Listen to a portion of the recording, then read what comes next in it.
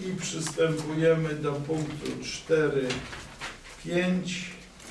Zawarcie umowy najmu lokalu mieszkalnego położonego przy ulicy Kantorowickiej zgodnie ze stosownym pismem Wydziału Mieszkalnictwa.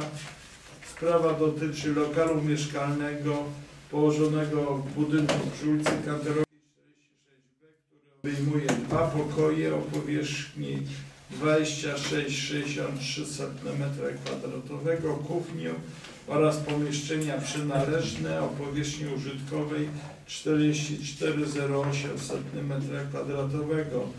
Lokal wynajmują Państwo. Yy, Proszę Państwa, projekt yy, autorstwa Komisji Spraw Mieszkaniowych. Bardzo proszę koleżankę Iwanę Rotkiewicz. Komisja Mieszkaniowa po przeprowadzonej wizji sporządzeniu protokołu jednogłośnie pozytywnie zaopiniowała projekt uchwały.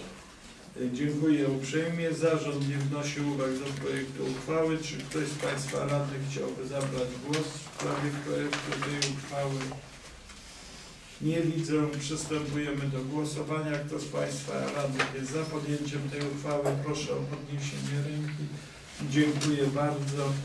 Będę liczył, kto jest przeciw, kto się wstrzymał od głosu. Podjęliśmy uchwałę jednogłośnie.